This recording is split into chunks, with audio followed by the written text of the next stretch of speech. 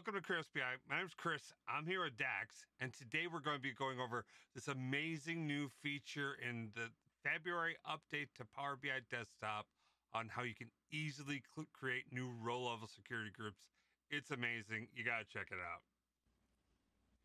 Hey man, if you're just chilling, trying to figure out some stuff about Power BI, well, man, I got the right channel for you. This is the stuff. Like it, subscribe, you know, turn on the alarm bell. You know, come back. Don't miss any of the future videos. This is the place to be. It's all good, man. It's all good. Yeah. Yeah, it is. It is all good. Ah. Okay, so the update to February 2023 is out. There's a whole bunch of great things that are out there. You do have to check it out. I'm going to post the link down below. But this new one with a row level security visual editor just blew me away. A lot of people are super intimidated by uh, creating row level security stuff. This is no longer hard to do. You're going to find it super easy, barely inconvenience. Wait till you check it out. All right. So I'm going to head over to Power BI Desktop. I've already opened up a file with the model in it, and I've created a visual that I'm going to want to create some row level security on. I do this so for a number of reasons. Number one, I want to make sure that I'm getting the information I'm entering right, right. Then I want to be able to test it and make sure that this information is testing out the way I expect it to. Okay. Now, if uh, you know, because this is a brand new feature, this is a preview feature. You're going to have to uh, create. You're going to have to turn on inside of Power BI Desktop first. So first things you do is head into uh, File, Options and Settings, Options, and then on Preview Features, it's right down here. It's right down at the bottom. There's this new um, enhanced row level security editor. You do have to turn that on. Please note, uh, do that before you create the visuals because you're going to have to relaunch Power BI Desktop once you do that anyway. So uh, start with that, okay? So once you've created that, you're going to find some things that are really easy to do. So uh, once it's on, I click on Manage Roles. Now here are all of the roles that are inside my data model. Now, I want to create something really simple. I want to create a, a new role that just does uh, for Canada, right? So I'm going to create a new role, and I'm going to call this one uh, Country. And I like my roles to be descriptive, so I'm going to call it Country dash CA. I'm going to click on check mark. Pro tip: If you don't have this set up right, uh, it's a li- you can encounter a bug where it won't save. So be aware. Make sure you make sure you've clicked save and, or that check mark and appears there. Okay. Then I'm going to click on my dim geography, and I'm going to click on add, and I'm going to choose my country region, and I'm going to say equals CA. Okay. Now I'm going to click on save when I get the green little window up here, boom, I've successfully applied role changes. Wow, that's awesome. So I can hit close. Now I can test this out by going to view as and then clicking on country CA.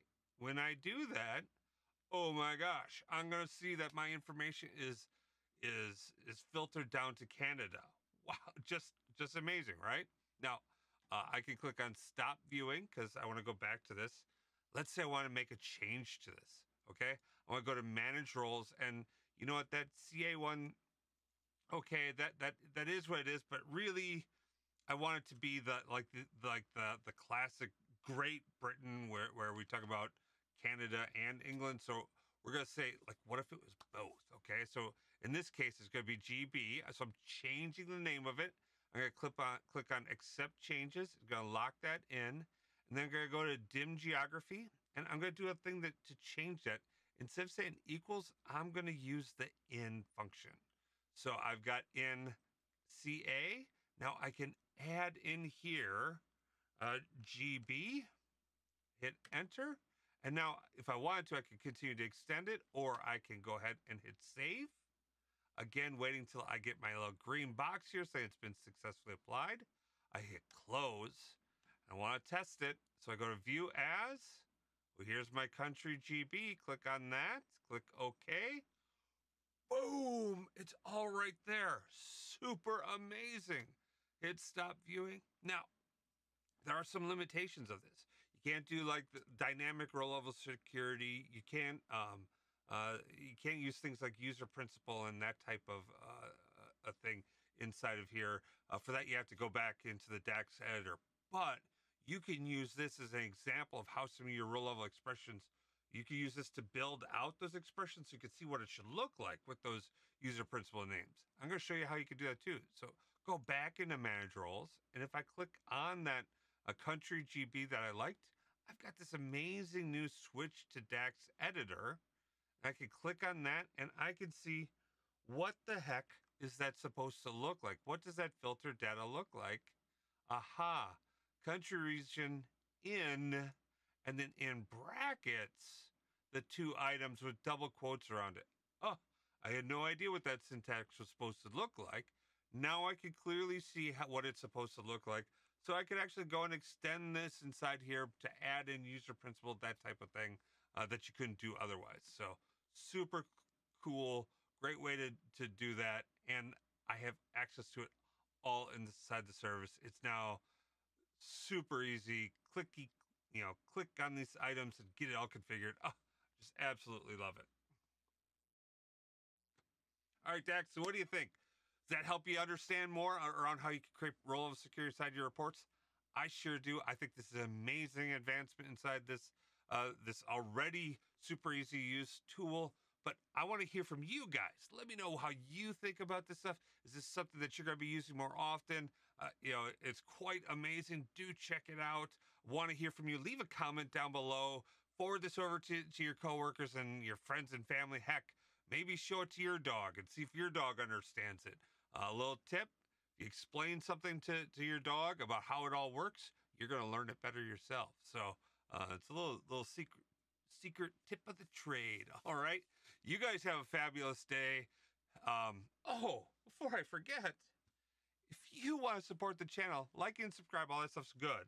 But if you want, you can head over to KratosBI.com and buy me a coffee. I'll send you some of these new custom Power BI stickers. This month we just we just got in the Deneb Have It Your Way. Ooh, let me see if I can get this in. Deneb Have It Your Way uh, sticker. This is brand new. We're shipping these out right now. My wife's up there folding envelopes, stuffing them full of stuff. Uh, if you want one, head over to KratosBI.com, buy me a coffee. I'll send them out. All funds proceeds go to serve the, the channel, uh, but mostly there to make sure that you get all the good, high quality stuff. So thank you guys so much. You guys have a great day. Peace. Baker Tilly Digital combines strategic industry insight and advanced technical expertise to uncover and solve your digital transformation challenges. If you're interested in learning more, check out our website at bakertilly.com/digital.